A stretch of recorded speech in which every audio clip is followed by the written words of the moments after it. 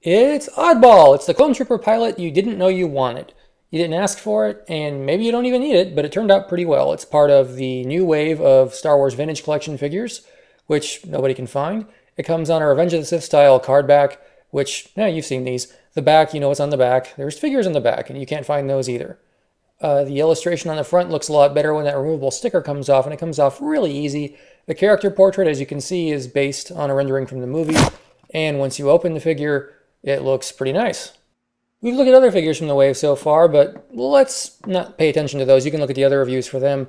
Oddball has a good amount of articulation. You can notice he has 14 points. The hip joints are designed especially to sit in a vehicle, and he has all the movement you might want on a good pilot figure.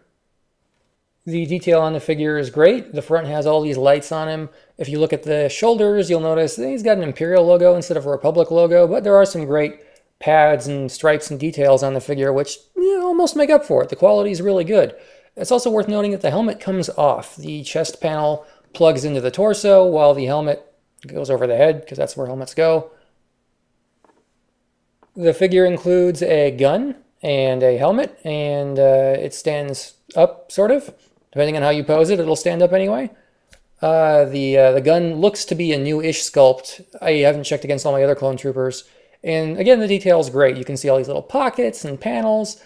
The figure is just well engineered and he has no problem sitting down, which is really all I want in a good pilot figure. He almost has too much articulation and he can stand pretty well on his own. You can buy this figure at entertainmentearth.com or you can read more exciting reviews at galactichunter.com. And if you enjoyed this video, do me a favor, tell a friend, post on Twitter. I don't care, just get the word out. Thanks for watching.